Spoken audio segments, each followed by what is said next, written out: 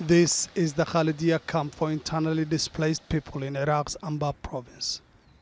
At the height of the military operations against ISIL in 2015, it was home to 7,000 people. Government officials have come to see it closed. The last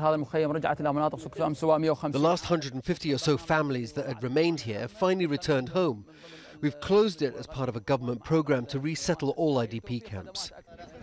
It's a program criticized by aid workers who say it's happening too quickly and it's still too dangerous.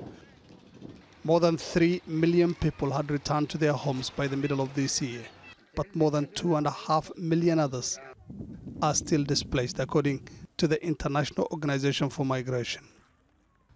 Mohammed Jasim was one of those brave enough to go back home, but his family house was destroyed in the war, so Mohammed is living in a tent. Some of his relatives are here to help him.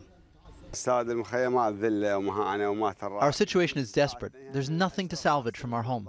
It's not a home anymore, actually. We urge the government to pay us the compensation it promised. Others complain they have to live with the threats from booby traps, unexploded bombs, and other devices, and the health risk posed by the decomposed bodies that lie on the land where their houses once stood. For a whole day, earth moving machines have been excavating the rubble in my compound and recovered dozens of bodies. There were at least five to six bodies in each of several shallow holes we found here. The devastation, poverty, and lack of services in areas recaptured from ISIL have forced many to choose to stay in the camps. For others, it isn't economically viable to leave. Some have been able to set up barber shops or fruit stands at makeshift markets, making about $50 a month. Unable to put up with the lack of basic services when they have returned home, many have been forced to go back to camps that are still open.